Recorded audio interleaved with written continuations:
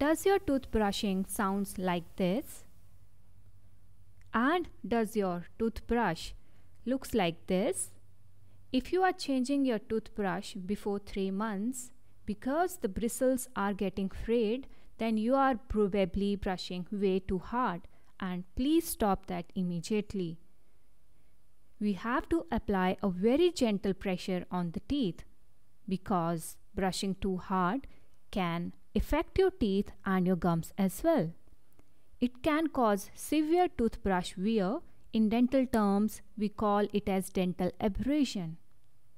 Many people believe that by brushing teeth hard, they are removing more food debris and plaque. This is a common mistake. Our tooth has a protective outer layer called enamel. Brushing too hard wears away enamel and once lost, it can't be grown back. If enamel wears away, the second layer called dentine is exposed, which is softer, yellowish, and sensitive than enamel. Also, it is more prone to cavity. These notches which you can see near the gum line, this is because of hard toothbrushing. You might not see changes right now, but as you age, your teeth will wear away. Other common symptom of hard tooth brushing is tooth sensitivity.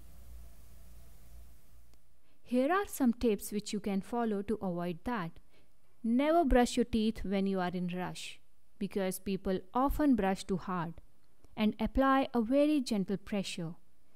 Place your bristles at a 45 degree angle to the gum line and be very gentle with your teeth. Buy a soft toothbrush. Never use hard toothbrush on your teeth.